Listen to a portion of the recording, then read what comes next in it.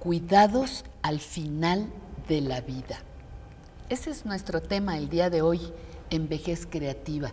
Y qué importante cuidarnos, los que estamos por irnos y los que nos vamos a quedar. Cuidados al final de la vida. Pensaríamos que solamente se cuida al que se va, o alguno por ahí puede pensar que cuidamos nada más al que se queda. Pero la doctora Berta Soria, médica, paliativista, especialista que ya ha conversado con nosotros en otros momentos, nos aclarará con detalle esto de cuidarnos, cuidados al final de la vida. Nos toca a todos, ¿verdad? Cuidarnos. Por supuesto. A los que estamos delicados a punto de irnos probablemente o en un proceso de enfermedad largo y los que los acompañamos porque también nos duele, ¿no? Claro. Esa es una qué diferencia. importante tu trabajo, doctora. Muchas Qué gracias. bueno, qué gusto, qué Muchas gusto que estés aquí. Y gracias Ajá. por darme esta oportunidad para como que lograr esclarecer algunos tópicos importantes, Sí, ¿no? claro, claro. Este, dos mensajes importantes son, uno, que se trata, un, un cuidado paliativo no está integral ni está completo si no se trata el aspecto físico, material, el que vemos del paciente, y el aspecto emocional, el que no vemos. El miedo, la angustia, la crisis existencial, dependiendo del grupo de edad, ¿no? La tristeza, la nostalgia. Si no vemos esa- esas dos eh, dimensiones, no estamos tratando integralmente al paciente. Y el otro comercial es que tenemos que tratar al mismo tiempo al paciente que a la familia. Los cuidados paliativos no se dan al paciente. Los cuidados paliativos se, dan a una familia que, tiene un, paciente, un, integrante de esa familia con alguna enfermedad grave o con alguna condición que pone en peligro la muerte. ¿Por qué sería importante tratar a la familia? Si el que está sufriendo, entre comillas, el que está sufriendo es el paciente, el que tuvo la quimioterapia es el que está ahí en la cama, porque es importante tratar a la otra parte de esa familia. Porque el paciente y la familia se vuelven una unidad a tratar. Para que el paciente esté bien, la familia necesita estar bien. Y no solamente desde el punto de vista logística. Por ejemplo, si una familia está extenuada, pues no puede a lo mejor proveerle el cuidado que necesita Claro. de estar al pie de la cama, ya sea de la casa o del hospital. Sino también desde el punto de vista emocional. Es impresionante cómo el paciente, a pesar de sentirse tan mal, ¿no? por los tratamientos, hospitalizaciones, a veces intervenciones quirúrgicas, su principal preocupación es la gente que lo quiere y que lo cuida. Siempre están preocupados. A veces se aguantan el dolor. A- No sabes las sesiones que tengo que tener Uy. eh, intensas para decirles, no te aguantes. ¿Por qué te aguantas? Es que no quiero angustiarlos, Berta. No quiero ser una carga para ellos. Entonces, tú deslindas al paciente de eso en el momento en que tú le- te, te comprometes a, tragar- a tratarlos integralmente. No te preocupes, yo también voy a ver por ellos. Y entonces coordinas hasta la logística, estableces roles de cuidado, cuidas al, al cuidador principal, valga Claro, la redundancia. claro, claro, ¿no? claro. Alguien, si no, se si no hay autocuidado, no puedes cuidar a alguien más. Y hay a veces mamás, por ejemplo, que no han dormido, Pati, en 72 horas. A veces han mal probado un alimento, no se han bañado, no han tenido un ratito de tiempo fuera para desconectarse. Entonces se vicia todo el ambiente. Esa, esa labor la tiene que coordinar alguien de fuera, alguien que tiene la posibilidad de ver el escenario completo, no estar en el ojo del huracán. Y eso es lo que hacemos los cuidados paliativos, los paliativistas. Eh, Acabas de decir algo muy importante. Se vale descansar. Claro. El que cuida Por también, supuesto. ¿no? Se vale dormir. Se los recomendamos, se claro, los exigimos. se vale que me salga al cine. Claro. ¿Cómo te- Pero es que luego las familias empiezan, ¿cómo te atreves a salirte al cine si tu madre se está muriendo? Pues justamente por eso. o me salgo a comer algo Por rico o A veces se los exigimos, Pati. Claro. Te me vas a ir al cine. ¿Sabes qué pasa? Que les viene el sentimiento de culpa. El Claro. sentimiento de culpa es uno de los sentimientos que aflora más comúnmente en todos los procesos de duelo. Cuando tú tienes a un paciente que sabes que está por enfrentarse a la muerte, empiezas a elaborar una cosa que se llama duelo anticipado. Y como ya estás en ese proceso de duelo, te viene el sentimiento de culpa. Esa es labor del paliativista, reforzarlo, con- eh, contenerlos y explicarles que es como si fuera prescripción médica. Así como le doy morfina para el dolor a tu papá, a ti te digo que necesitamos que entre el hermano de tu papá a cuidarlo dos horas y tú esas dos horas vas a ir a hacer lo que quieras. Si quieres ir a tomar un café, si quieres ir al cine, si quieres ir a ver a tus amigos, si quieres echarte unos tequilas, te lo estoy prescribiendo.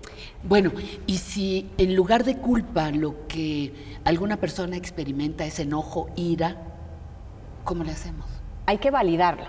La única forma de detectar emociones es explorarlas y para eso hay que tomarse el tiempo. Si uno no se toma el tiempo de explorarlo, pues no lo vas a detectar. Es muy válido que los pacientes y las familias se enojen. ¿Por qué a mí? ¿Por qué en esta situación? ¿Por qué si lo detectamos a tiempo y nos sometimos a tantas y cuantas quimioterapias? ¿Cómo es posible que después de tantas cirugías, tanta estancia hospitalaria, regrese esto? ¿O cómo es posible que después de dos años de estar perfecto, ahorita presente recaída? Es natural que presenten enojo. Pero si nosotros no nos tomamos el tiempo de explorarlo, no lo vamos a detectar. ¿Cómo lo vamos a contener? ¿Cómo lo vamos a validar si no lo exploramos? Es importantísimo que nos demos el tiempo de detectarlo. Fíjate que eh, yo he visto personas que hasta se enojan con su Dios. Claro. No, con el de ellos. El enojo puede tener muchísimas connotaciones. La gente muy religiosa puede enojarse con Dios, hay gente que se enoja con los médicos, hay gente que se enoja entre los mismos integrantes de la familia y hay gente que se enoja con el paciente. Sí, claro y hay que trabajarlo eso. Lo primero que hay que hacer ante cualquier emoción es validarla, ¿no? Dar, dar espacio para que exprese esa emoción, entenderla, validarla, van de la mano, y después tratar de contenerlo.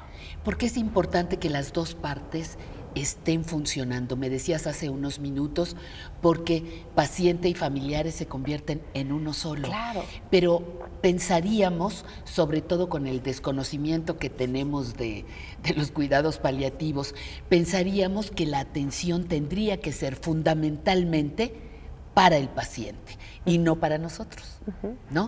Entonces, ¿por qué es importante eh, eh, insistir en esto?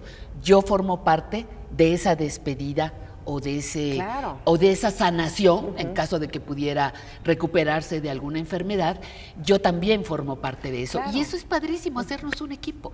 Tú eres elemento esencial para que ese paciente logre cerrar ese ciclo y pueda irse en paz. Claro. El ser humano así está diseñado, ¿no? Esa es otra necesidad, la necesidad social.